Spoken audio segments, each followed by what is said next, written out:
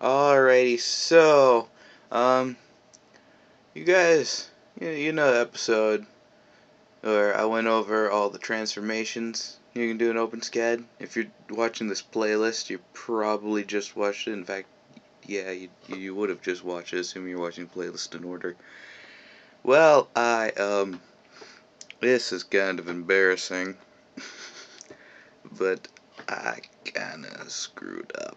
So, yeah, as we're doing the color transformation, which is actually, when once you figure it out, really simple. So I don't know how I had such an idiot moment. If I had a book here, I'd, oh well. Yeah. Anyway, so I'm just here to fix what I did stupidly with the color. So you can still do the quotes with the color, word color in it, like blue, red, and whatnot.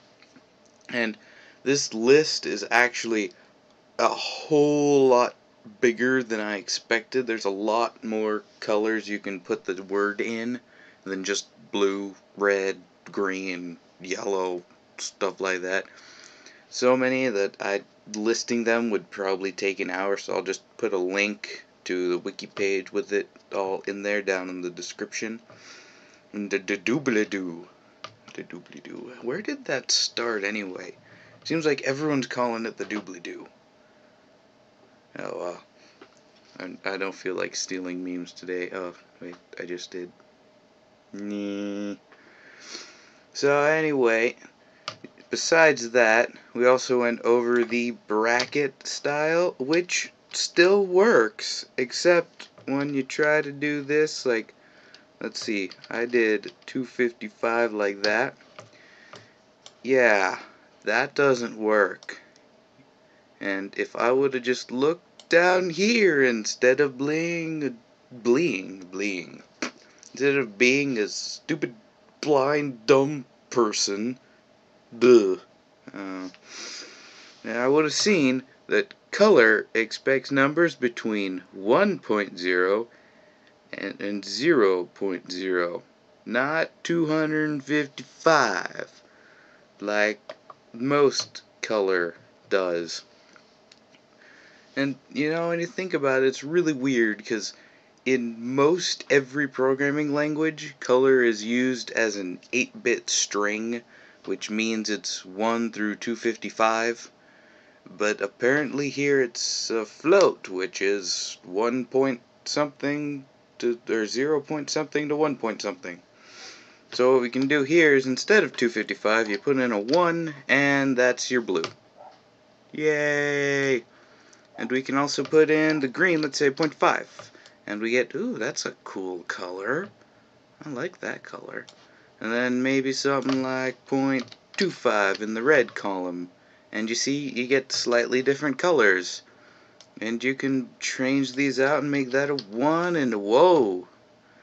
That's an interesting pinkish purpley color. Let's see if we make that one a 1 and you get white.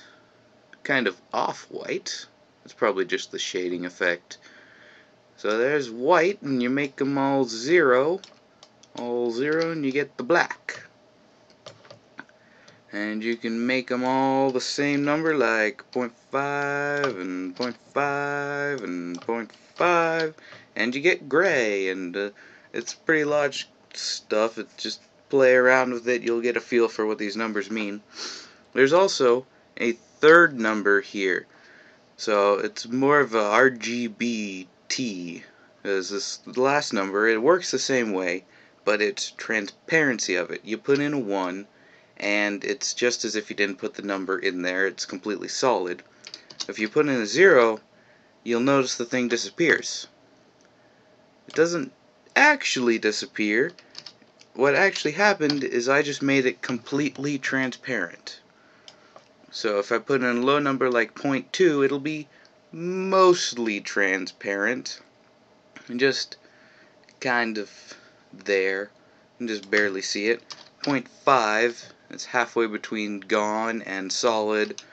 I found 0.7 is really good if you're trying to determine um, where something is on something. So like if you want so if you're trying to get like a pattern like say a star centered in a circle, I what I like to do is make the star about 0.7 on transparency and then put a peg right in the middle, which is really easy. Just put a cylinder down and don't move it and it's just naturally in the middle. And then just move that around until the cylinder looks about right. I mean, granted that doesn't work for super accurate engineering stuff. Then you need like fancy math and everything, but who's got time for fancy math? I want to make it look pretty. I just make it look pretty. So that's the update on how color works. Is God, I'm an idiot sometimes. Oh. Uh, hopefully it didn't annoy you too much that I failed on the last episode. To make up for it, I think I'll just not put ads on this one. Yeah. Well, anyway, bye everyone. And we're back to the shaky voice. Okay, mm, bye. Bye.